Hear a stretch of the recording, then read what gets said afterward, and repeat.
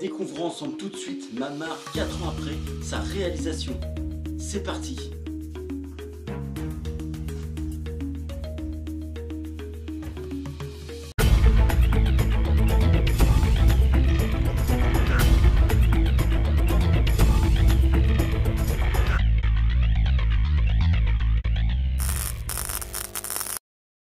On est mieux dehors à découvrir la nature quand même. hein.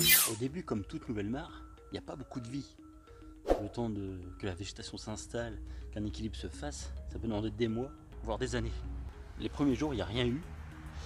Ensuite, au bout de une, deux semaines, grand max, les premiers invertébrés sont arrivés, comme des gyris ou des notonectes, qui eux allaient chercher les invertébrés qui tombaient à l'eau. Et pendant ce temps-là, les plantes grandissaient tranquillement.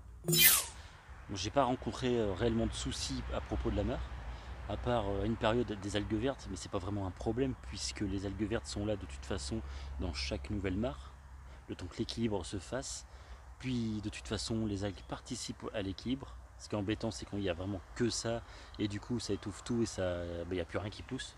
Il faut juste réguler un peu en surface. Je parle surtout pour des mares de petite taille. Donc la première année de la création de la mare, c'était plutôt de l'observation, puis de l'aménagement autour. D'ailleurs, j'ai changé pas mal de choses euh, ces quatre dernières années concernant l'aménagement tout autour parce que je trouvais que c'était pas assez sauvage. Je voulais vraiment un aspect naturel.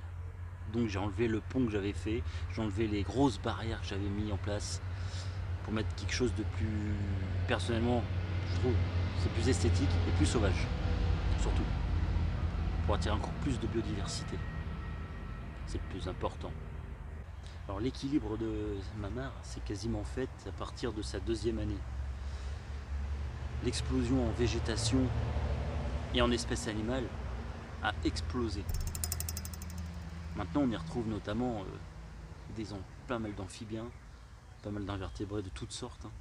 Regardez.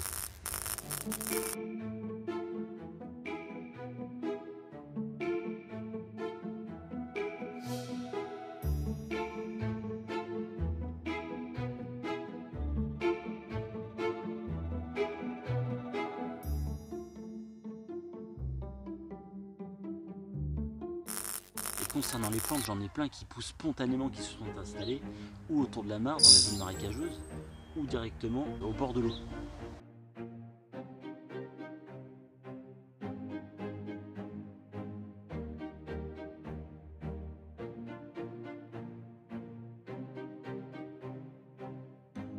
Bon, ce qui se passe depuis quelques années là maintenant, enfin j'ai remarqué ces deux dernières années puisque ma mare a que 4 ans, c'est la sécheresse et la chaleur surtout. Les canicules que la mare subit en été, elle aime pas trop. Alors c'est pas grave, parce qu'il y a des mares qui se dessèchent complètement euh, durant la saison estivale. Mais si c'est pas l'objectif d'avoir une mare vide l'été, vous pouvez euh, faire la pointe avec votre cuve à eau, surtout pas l'eau du robinet, sinon vous déréglez tout. En tout cas, ma mare elle évolue dans le bon sens. La végétation explose, elle s'épanouit, elle pousse un peu comme elle veut dans cette zone. La faune, elle vient y vivre, s'y installer, ou s'y abreuver, ou s'y reproduire. Et à chaque saison, c'est un nouveau spectacle. En termes d'entretien de la mare, en 4 ans, j'ai encore rien fait de spécial. Mis à part peut-être enlever quelques plantes qui commençaient à, prendre un peu trop de place. J'ai pas une très grande mare. Donc il y a juste ce point-là auquel je fais attention. Sinon, je laisse faire complètement la vie de la mare euh, à l'intérieur. Je m'en occupe pas.